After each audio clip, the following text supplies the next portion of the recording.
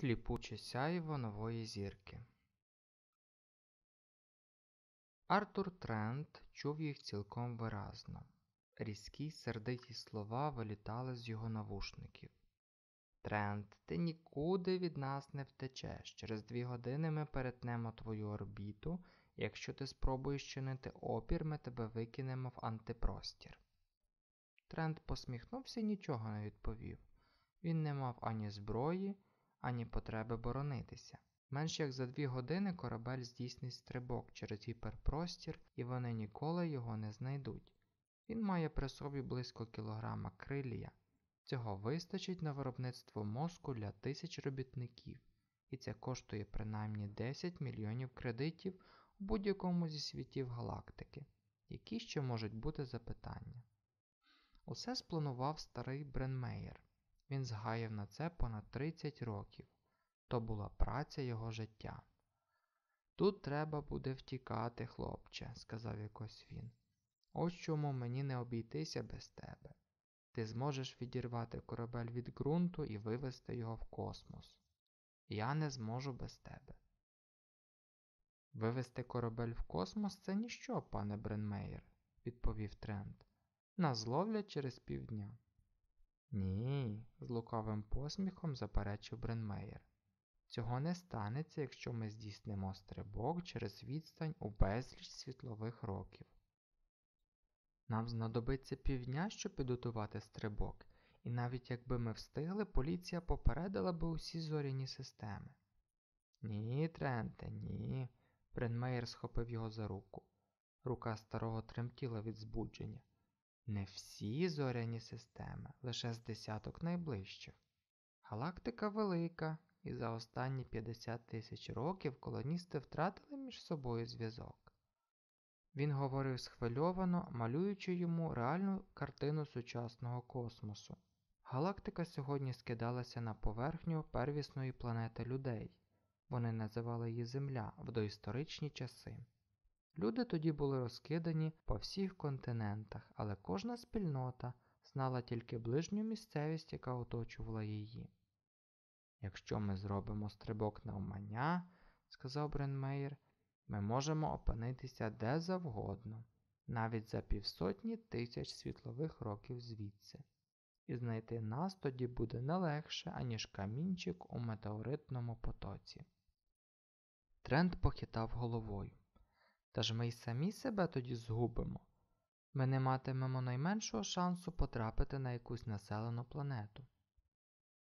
Бренмейер полохливо розглянувся навкруги. Ніде не було нікого, але він знизив голос до ледь чутного шепоту. Я згаяв 30 років, збираючи відомості про кожну населену планету в галактиці. Я переглянув усі давні хроніки. Я мандрував за тисячі світлових років, далі, аніж будь-який космічний пілот. І координати кожної населеної планети зараз поміщено в пам'ять найдосконалішого комп'ютера з усіх, які нам відомі. Трент вічливо підняв брови. Бренмейер провадив. Я конструюю комп'ютери, кращих за яких ніде немає. Я також визначив точні координати кожної зірки в галактиці, яка світиться, тобто належить до спектральних класів F, B, A та O, і заклав їх у електронну пам'ять. Як тільки ми здійснимо стрибок, комп'ютер почне спектроскопічно сканувати небо і порівнювати результати з картою галактики, що закладена у ньому. Як тільки він знайде у своїй пам'яті відповідну конфігурацію, а рано чи пізно він її знайде, корабель зорієнтується в просторі і цілком автоматично підготує другий стрибок, який перенесе нас до найближчої населеної планети. Звучить надто складно. Я не міг помилитися. Я дуже довго працював над цим, і будь-яка помилка виключається. Мені лишається 10 років, щоб утішитися життя мільйонера. Але ти молодий, ти будеш мільйонером значно довше. Якщо ми здійснимо стрибок навмання, ми можемо опинитися всередині якоїсь зірки. Не більш як один шанс на 100 трильйонів, Артуре. Ми можемо також опинитися на відстані від будь-якої яскравої зірки, що комп'ютер просто не знайде конфігурації, яку би він зміг співставити зі своєю програмою. Ми можемо також стрибнути тільки на один або два світлових роки, і тоді поліція залишиться в нас на хвості. Та ймовірність такого варіанту ще менша. Якщо ти настроєний боятися, то бійся, що ти помреш від серцевого нападу в момент старту. Ймовірність такого кінця набагато більша. Для тебе більше, Бренмейр, ти ж бо старий. Старий стенув плечима. Я не збираюся нічого підраховувати. Комп'ютер зробить усе сам автоматично.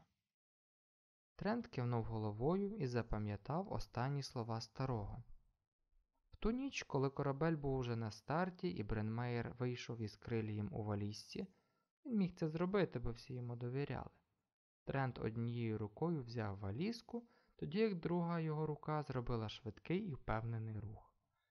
Він віддав перевагу ножеві, ніж був зброєю не менш надійною, аніж молекулярний деполяризатор, не менш фатальний, але набагато тихший. Трент залишив ніж стриміти у тілі з усіма своїми відбитками пальців. Яка, зрештою, різниця? Адже вони ніколи його не схоплять. І ось він у відкритому космосі, переслідуваний поліційними астропланами, і відчуває, як згущується навколо нього напруга, яка звичайно передує стрибкові. Жодний фізіолог не міг пояснити це явище, але кожен досвідчений космічний пілот був знайомий з цим відчуттям. Потім він на мить мов би, провалився у бездонну прірву і зразу ж виринув на поверхню. Це коли його корабель і він сам раптово перетворилися на нематерію та не енергію, але моментально реструктуризувалися в зовсім іншому місці галактики. Трент усміхнувся. Він живий. Жодна зірка не була надто близько, і він бачив тисячі достатньо близьких. Небо мерехтіло світилами, і їхня конфігурація була зовсім інша, отже стрибок закинув його далеко. Деякі з цих зірок, вочевидь, належали до спектрального з класу F, вони були навіть яскравіші. Отже, комп'ютер має добру, чітко виражену схему, яку йому залишається тільки зіставити з тими, що закладені в його пам'ять. Це не забере багато часу. Трент зручно відкинувся в кріслі і став милуватися яскравими потоками зоряного світла, що струменіло крізь ілюмінатори, мірою того, як корабель повільно обертався навкруг своєї осі. Його увагу привернула одна яскрава зірка, дуже яскрава. Вона явно була не далі, ніж за 2-3 світлових роки від його корабля, і його інтуїція пілота підказала йому, що ця зірка дуже гаряча. Гарна і гаряча. Комп'ютер використає її як базу, щоб знайти конфігурацію, центровану навкруг неї. Він знову подумав, це не забере багато часу. Але час минав, минали хвилини, минула й година, а комп'ютер усе клацав і клацав діловито, блимаючи своїми вогнями. Тренд спохмурнів. Чому він не знаходить конфігурацію? Вона повинна бути в його пам'яті. Бренмейер віддав цій роботі десятки років. Він не міг пропустити якусь зірку або визначити її координати неправильно. Звичайно ж, зірки народжуються і вмирають, і пересуваються в просторі, поки вони живуть, але ці зміни відбуваються повільно, дуже повільно. Навіть за мільйон років ті зоряні конфігурації, які визначив Бренмейер, не могли б. Несподіваний напад моторошного страху опанував Трента. Ні, цього не може бути. Імовірність такого варіанту була навіть менша, аніж стрибок усередину якогось світила. Він дочекався, поки яскрава зірка потрапила у поле його зору і тремтячими руками спрямував на неї потужний телескоп. Він встановив максимальне збільшення і побачив, що блискуча крапелька світла ніби плаває в тумані турбулентних газів. Це була нова зірка. З чорного небуття вона відродилася до яскравого світіння, можливо, не далі як місяць тому. Вона перемістилася зі спеціального класу небесних світил, настільки мало яскравих, що комп'ютер не бере їх до уваги, у клас об'єктів, які він безперечно знехтувати не може. Тобто нова зірка, яка існувала тепер у космічному просторі, не існувала в пам'яті комп'ютера, бо Бренмейер її туди не заклав. Коли Бренмейер збирав свої дані, цієї зірки ще не існувало, принаймні як яскравого об'єкта. Не зважай на неї, закричав Трент, обмени її. Але ж він кричав на автоматичну машинерію, яка зіставлятиме конфігурацію центровано навкруг нової зірки з конфігурацією галактики, і ніде її там не знайде. А проте вона й далі зіставлятиме, зіставлятиме, зіставлятиме, аж поки витратить усі запаси енергії. Запаси повітря ж вичерпаються значно раніше, і життя Трента закінчиться набагато раніше. Цілком безпорадний Трент упав крісло, дивлячись на незворушну картину зоряного неба, яке мов би, глузувало з нього, і починаючи готуватись до ще не близької, але невідворотної агонії. І чому він не взяв з собою ножа?